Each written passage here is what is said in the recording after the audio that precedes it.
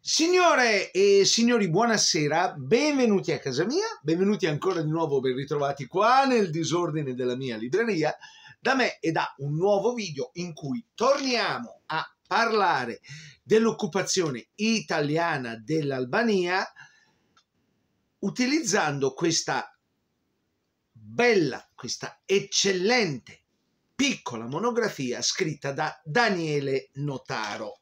Allora, signori, come vi ho detto nei precedenti video, l'invasione dell'Albania non fu mm, una non fu una insomma fu un'operazione estremamente rapida, un'operazione molto veloce, molto rapida che si concluse con eh, come dire relativamente poche perdite, relativamente. Perché oggettivamente ci fu una grossa disorganizzazione, ci furono dei grossi, grossi, grossi problemi, soprattutto logistici. Ma sentiamo un po' che cosa ci dice, ehm, che cosa ci dice Daniele. Allora, le perdite italiane secondo l'allegato numero 6 della relazione sull'azione militare in Albania nei giorni 7, 8 e 9 aprile 1939, redatta dal generale Guzzoni nel maggio 39, ammontavano a un ufficiale caduto e 18 feriti, un sottufficiale caduto e 8, feriti, 10 caduti e 64 feriti tra la truppa. Va attestato che la maggior parte dei caduti facessero parte della Regia Marina. Nel libro Albania at War 39-45 di Bernd Fischer invece si afferma che gli italiani ebbero almeno 700 perdite, di cui solo 200 a Durazzo. Le perdite albanesi sono sconosciute. Fischer le stima come superiori a quelle italiane, quindi sopra i 700 uomini, ma non ci sono dati certi.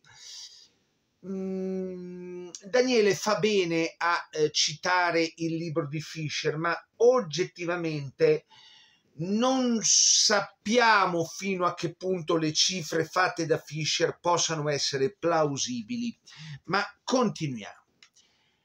È indubbio, ci dice Daniele, che l'operazione venne organizzata male ed ebbe grossi problemi, soprattutto dal punto di vista logistico. Lo stesso capo di gabinetto del ministro degli esteri, Filippo Anfuso, quello che era soprannominato il Bell'Antonio, dichiarò a Ciano che se gli albanesi avessero disposto di una brigata di fuoco ben equipaggiata, potevano rigettarci nell'Adriatico. Allora, in realtà, ehm, la, come dire, la cito per amor di conoscenza. Questa battuta, ovvero sia la battuta sugli albanesi che ci potevano buttare a mare se avessero avuto un, uh, insomma, un qualche cosa di efficiente da contrapporci, qualcuno la, eh, ripeto, qualcuno la affida a Danfuso, Qualcuno la eh, dice che sia direttamente di Ciano, altri affermano che sia di Bottai. Varia leggermente perché eh, secondo qual- alcuni dei miei libri eh, questa battuta sarebbe se gli albanesi avessero avuto un corpo di pompieri efficiente, un corpo di vigili del fuoco efficiente, ci avrebbero ributtati a mare. Ma queste, diciamo che si tratta, io ripeto, nei miei libri questa frase è citata eh, in due o tre modi diversi e eh, viene attribuita, ripeto, ora ad Anfuso, come ci dice Daniele, ora a Ciano, ora a Bottai, ora ehm, a eh, Specchiera, Sante Palle, adesso c'è un momento di buco, eh, Anfuso, Ciano, Bottai e, e, anche ad altri viene attribuita. Adesso scusatemi non ho, non ho come dire la, la, la, non ho certo la possibilità di andare a controllare ma fidatevi vi prego fate quest'atto di fede. Ok.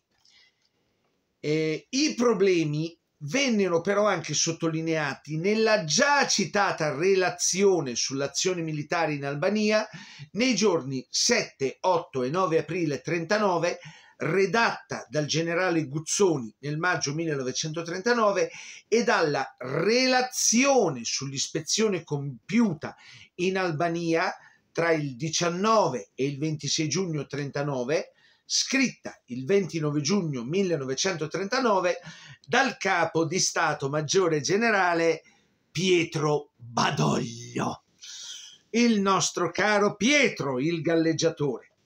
In entrambe vengono sottolineati moltissimi problemi, come il gran numero di, gran numero di soldati richiamati, i quali eh, non sapevano usare le nuove armi o, ancora peggio, un elevato numero di bersaglieri ciclisti, soprattutto delle classi 1901-1904, i quali non sapevano utilizzare le biciclette e le motociclette.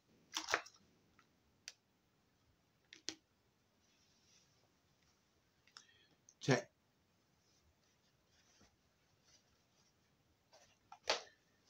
allora, i bersaglieri ciclisti, allora, dovevano essere, erano già stati nel corso della prima guerra mondiale, una componente fondamentale per la mobilità delle nostre truppe. Un esercito oggettivamente l'esercito italiano del 39 era oggettivamente poca cosa. Equipaggiamenti sprecati in Spagna, risorse bruciate in Etiopia, un paese, un sistema paese, un sistema industriale povero, arretrato e raffazzonato, un paese povero dove la bicicletta era un lusso e c'erano tanti, tanti, tanti italiani che una bicicletta non se la potevano permettere, tanti, tanti, tanti italiani che in bicicletta non ci sapevano andare. E, come dire, questa gente, questa gente, ripeto, soprattutto delle classi 1901-1904, ovvero sia gente tra diciamo i over 30, diciamo tra i 30 tra i 35 e i, e i 40 anni più o meno, che in bicicletta non, si, non ci sapeva andare e soprattutto messi nei bersaglieri ciclisti, cioè raggelante.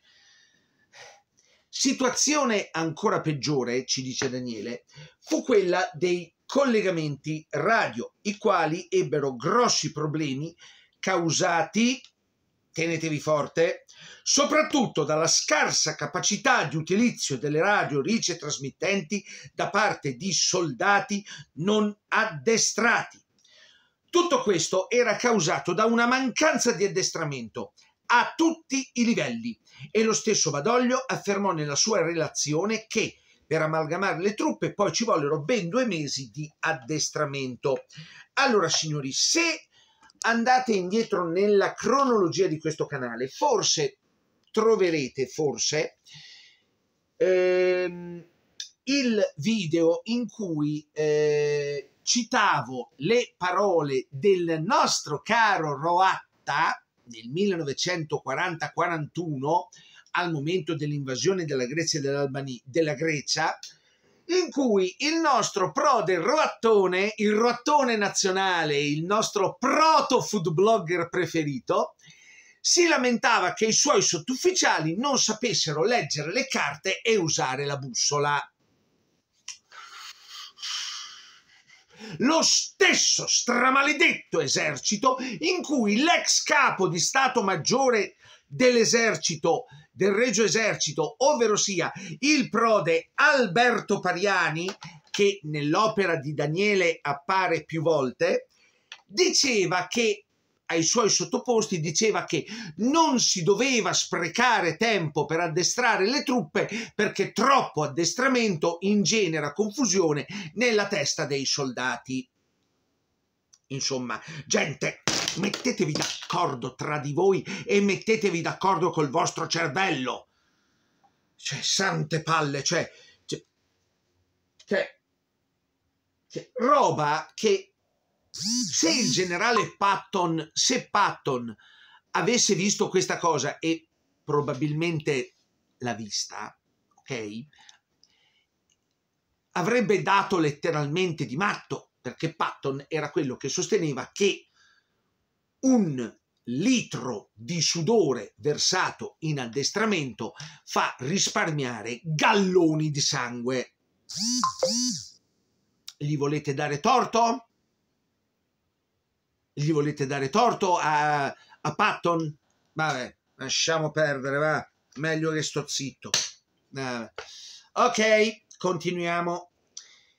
Guzzoni ebbe anche dure critiche per, le, per l'azione di avio sbarco dei due battaglioni granatieri a Tirana effettuato con molta lentezza, tant'è che furono necessarie 2 ore e 55 minuti, dalle 10 e 5 alle 13, per sbarcare dagli aerei tutti e due i battaglioni, con una media di un'ora e 25 minuti a battaglione, Entrambi, sia Badoglio che Guzzoni, descrissero il terribile errore dello sbarco dei fusti di gasolio al posto di quelli di benzina nel porto di Durazzo nella notte del 7 aprile, mentre Badoglio ebbe parole molto dure anche nei confronti degli ufficiali per metà di complemento.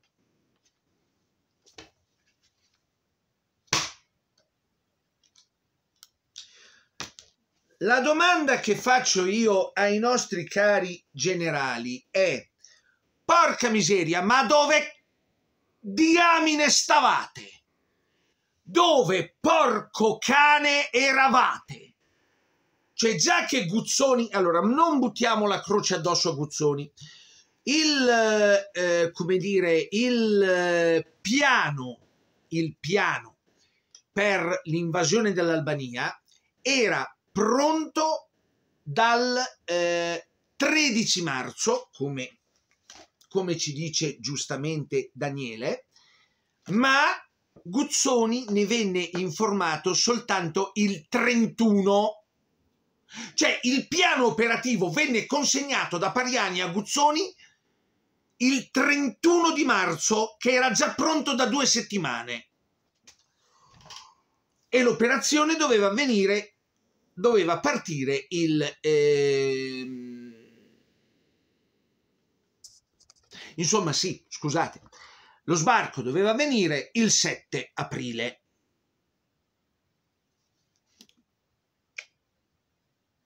La domanda è, ma ci siete? Ci fate? Ci credete? Ci riuscite? Cioè, la gloriosa e rapidissima invasione dell'Albania fu un disastro logistico con risvolti a dir poco grotteschi. L'errore dello sbarco di fusti di gasolio al posto dei fusti di benzina è forse il meno grave. Cioè, ma vi rendete conto? Due battaglioni sbarcati sull'aeroporto in territorio ostile a Tirana che impiegano due ore per essere sbarcati da, cioè no, due ore, tre ore per essere sbarcati dagli aeroplani. Ma sarebbe bastata realmente una cannonata per fare una strage. Cioè, ma vi rendete conto? Cioè, allora, prendiamo, allora, il, prendiamo per esempio il disastro di Market Garden o se vogliamo, una qualsiasi, una qualsivoglia operazione di truppe aviotrasportate durante la seconda guerra mondiale. In pochi minuti le truppe aviotrasportate anglo-americane, ma anche tedesche, erano in grado di scaricare a terra centinaia, se non migliaia di uomini. Basti vedere, cioè, insomma, l'invasione di Creta, eh, l'invasione della Norvegia, Overlord, Husky, oppure anche se vogliamo, ripeto, Market Garden, che l'operazione fu un fiasco, ma oggettivamente le truppe di Montgomery riuscirono ad arrivare al, all'ultimo ponte, i paracadutisti. Va bene. Ma cioè, ore per scaricare due cazzo di battaglio, scusate le parolacce, ma non mi viene in mente altro, cioè due ore, ore, per, ore preziosissime per, per sbarcare dagli aerei due battaglioni. Cioè un'ora e mezza quasi per battaglione, ma siamo pazzi? Cioè, ma siamo completamente pazzi?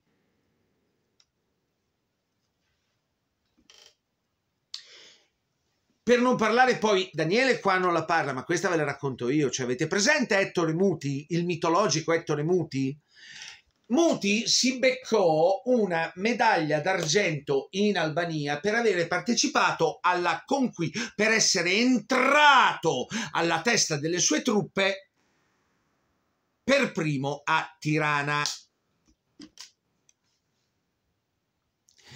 In realtà l'azione di Muti, vi dico solo una cosa, ci mancava soltanto Matley dietro che faceva...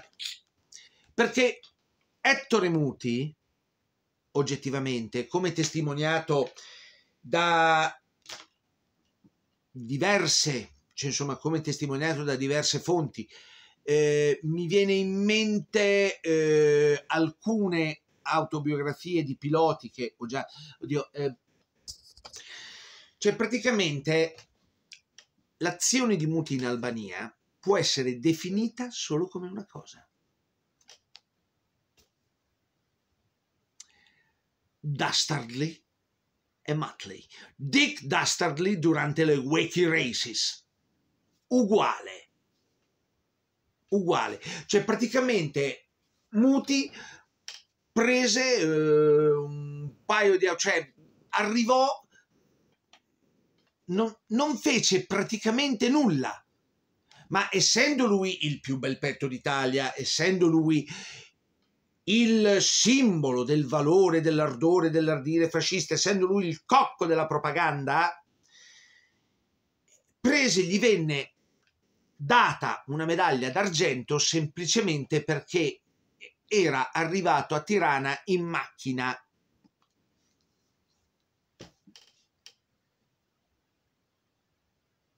facendo cioè io leggendo cioè allora dovete scusarmi cioè dovete scusarmi ma come dire sono un po' incavolato cioè mi, mi fanno girare le scatole queste queste cose cioè realmente realmente. Daniele in poche pagine letteralmente demolisce, demolisce la vulgata sulla conquista dell'Albania. Un'operazione raffazzonata, un'operazione molto mal preparata, molto male organizzata, veramente, veramente, veramente un disastro a livello logistico. Se negli eserciti alleati o nell'esercito tedesco qualcuno avesse pianificato un'operazione a questa maniera, sarebbe stato preso e fucilato, o messo in carcere, o destituito. o per citare le parole di uno dei miei scrittori preferiti, James Harriot, se fossimo stati in paesi più totalitari, molto probabilmente i comandanti e i pianificatori dell'operazione per l'invasione dell'Albania sarebbero stati presi di notte e portati in un luogo nascosto per essere giustiziati con un colpo alla nuca e sepolti.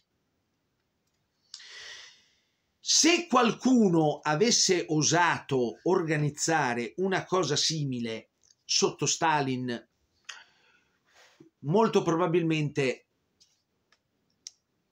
Vassili Mihailovich Blokin, il, ehm, il boia personale di Stalin, avrebbe, come dire, li avrebbe freddati immediatamente con un colpo alla nuca.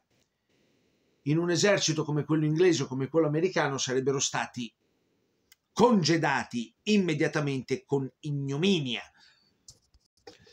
Ripeto, per disorganizzazione, lassismo, carenze di addestramento, faciloneria, superficialità, supponenza, incompetenza, l'invasione dell'Albania a me ricorda veramente tanto l'esercito francese tra il dicembre 1939 e l'aprile del 1940.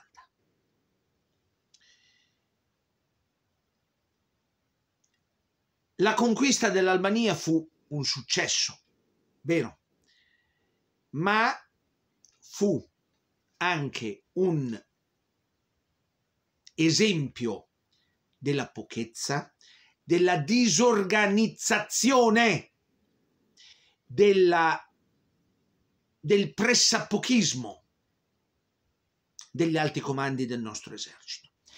Nel suo libro I generali di Mussolini Giovanni Cecini ci spiega che solitamente la sconfitta è orfana mentre la vittoria ha tanti padri. Nel caso italiano la sconfitta ha un padre nobile e tanti corresponsabili, tanti complici, tanti, altrettanti padri, ovvero sia molti di coloro che indossavano la greca da generale sul berretto. Il, mi viene da chiamarlo dilettantismo se non fosse un'offesa ai dilettanti, con cui venne affrontata, preparata, pianificata e messa in atto. L'invasione dell'Albania è qualcosa di agghiacciante anche perché oggettivamente nel corso dei mesi successivi i vari Badoglio, Graziani, Soddu, Visconti Prasca,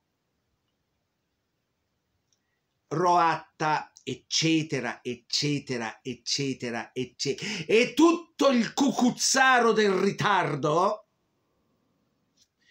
non fecero assolutamente niente. Niente. Niente, non venne organizzato un programma di addestramento, non venne organizzato un programma di organizzazione, non venne migliorata la logistica, niente, di niente, di niente, di niente. Vero, le nostre risorse erano state prosciugate, inaridite, bruciate dalla sanguinosa e costosissima campagna di Spagna e dalla conquista dell'impero. E questo avrebbe dovuto essere, insomma, la campagna d'Albania avrebbe dovuto suonare come un violento campanello d'allarme, come le campane a martello, come la sirena dei pompieri, come un allarme a proposito dello stato delle nostre forze armate. Ma non ci fu niente da fare, porca miseria, non ci fu niente da fare. tutti a darsi pacche sulle spalle, tutti a prendersi decorazioni assolutamente immeritate, tutti a mm, farsi reciproci servizi di un certo livello, tutti a complimentarsi a vicenda fra di loro, tutti a fare a gara a prendere, ripeto, medaglie non meritate.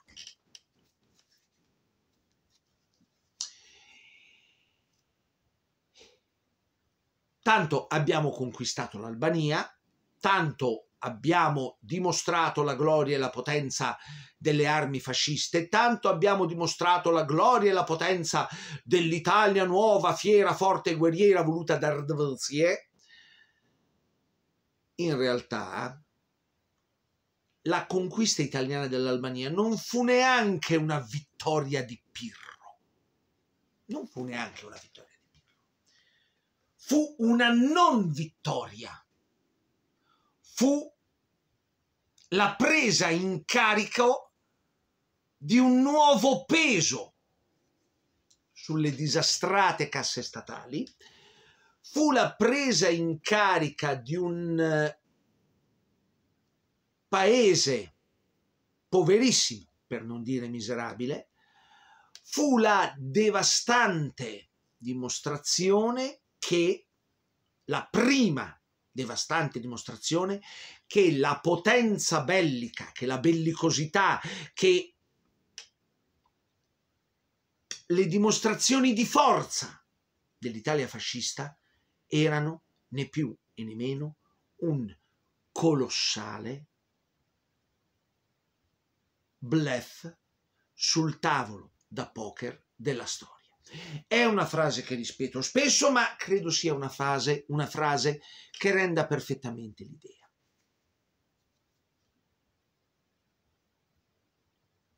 E tutto per cosa? Quattro sassi, un uh,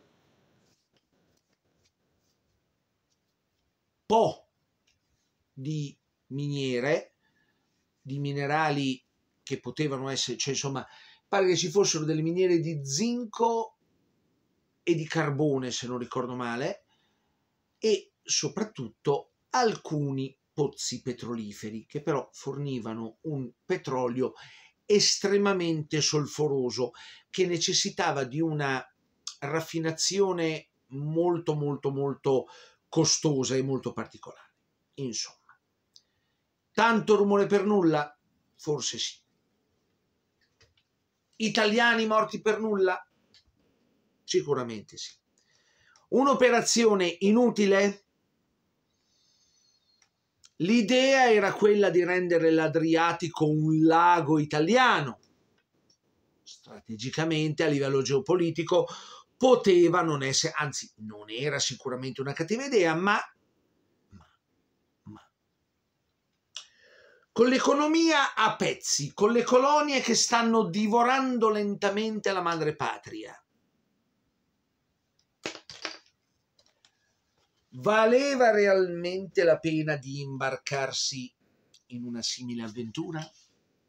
Valeva realmente la pena di prendersi in carico l'Albania?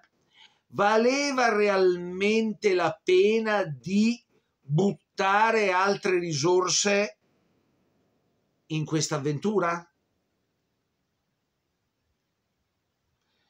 Valeva realmente la pena di dimostrare a se stessi di avere forze armate inefficienti, impreparate, disastrosamente, scusate, disastrosamente inefficaci. Ne valeva la pena, cioè ne valeva la pena.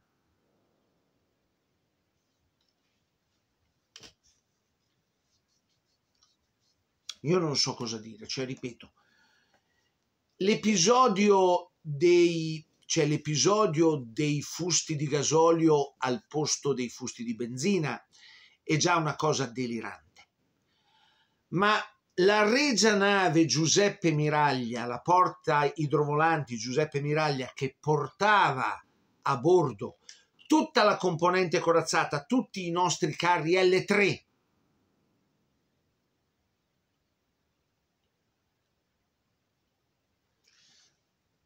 costretta ad aspettare fuori dal porto perché un'altra nave è arrivata prima ed è attraccata nella stessa banchina dove doveva attraccare per scaricare i carri. Cioè. Allora, una battuta di von Rundstedt dell'altero sprezzante del eh, fiero e orgoglioso nobiluomo prussiano che è stato considerato il miglior generale tedesco, dicevo, von Rundstedt diceva che nell'esercito tedesco marescialli e i generali italiani sarebbero stati al massimo tenenti colonnelli dell'intendenza. Ma a leggere quello che ci dice brevemente Daniele, a leggere quello che si trova anche su altri libri,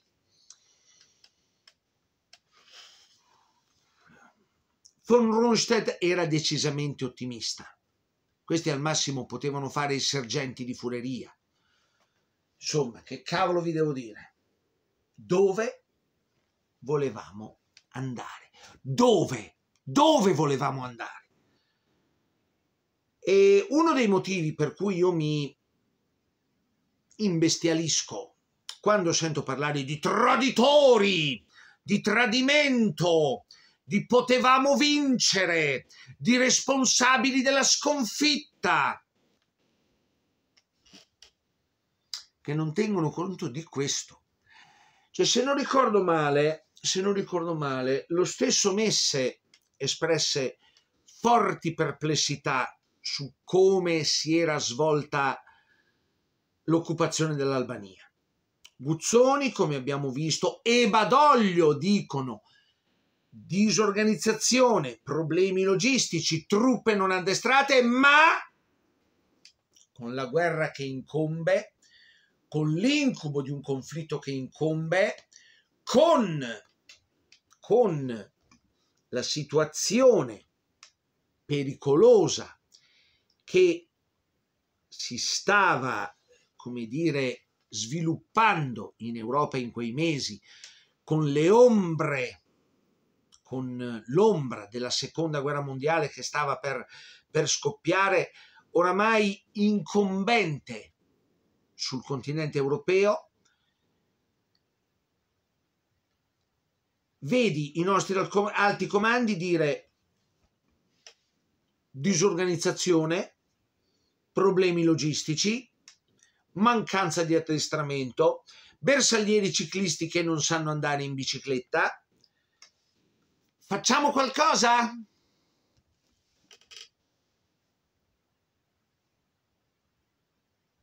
Facciamo qualcosa? Vogliamo fare qualcosa? Oh! Ugo! Rodolfo! Mario! Sebastiano! Ubaldo! Ci siete? Mi sentite? Oh! No. no. Non vedono, non sentono, soprattutto non parlano perché parlare ed esporre queste cose era pericoloso per le loro carriere, le loro prebende, le loro cariche, le loro poltrone e quindi si tace si sta zitti, si sistemerà tutto. Ci vorranno almeno due mesi per organizzare le truppe, sì, come no. Lo vedremo in Libia durante l'operazione Compass. Lo vedremo da lì a poco più di un anno nella tragicomica, nella grottesca, nella orribile campagna di Grecia.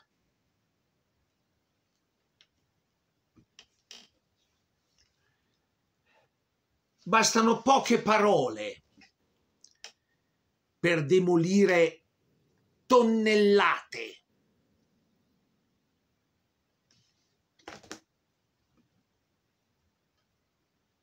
di vaccate nostalgiche sul potevamo vincere, la potenza italiana, conquistammo l'Albania. La conquistammo, ma oggettivamente in una maniera di cui non si poteva certo andare fieri. Tutto qua. Bene, signori. Abbiamo finito la serie sull'Anschluss italiano, sull'occupazione italiana dell'Albania io ringrazio tantissimo Daniele per la sua, come dire, preziosa opera. Procuratevela, procuratevela perché ne vale la pena. Ripeto, ci sono un sacco di fotografie anche del periodo eh, come dire, mh, anche del periodo albanese, insomma, anche del periodo eh, post-armistiziale. Ecco, ah, eccolo qua.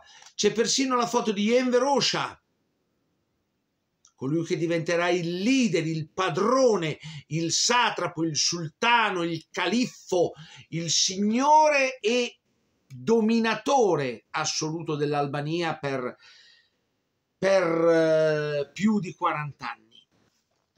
Lui, gli ufficiali inglesi che addestravano i partigiani e tante, tante, tante, tante altre immagini, cioè giusto per dire eh, una cosa, ehm, ecco, cioè, anche qua, gli italiani che combatterono a fianco degli albanesi contro i tedeschi, dopo l'8 settembre 1943. Eh, una curiosità, ehm, questo ragazzo è Vasil Laci, l'attentatore che cercò di uccidere Vittorio Emanuele III durante la sua visita a Tirana. Insomma, insomma, insomma, che cavolo vi posso dire? Tanto fumo, poca sostanza. Una curiosità, le foto della milizia albanese, della milizia fascista albanese con il tradizionale zuccotto di lana che è il col tradizionale fez di lana tipico della tipico del, beh, sì, buonasera, tipico del, del paese balcanico. Il cappello tradizionale tipico del paese balcanico. Cioè, insomma, signori, io ripeto, non ho, non ho veramente, veramente parole. Disorganizzazione, miseria, incapacità organizzativa, incapacità militare, incapacità. Anche in un successo, anche se decisamente facile, per usare una battutaccia, invadere l'Albania fu un po' come picchiare un uomo mentre caga.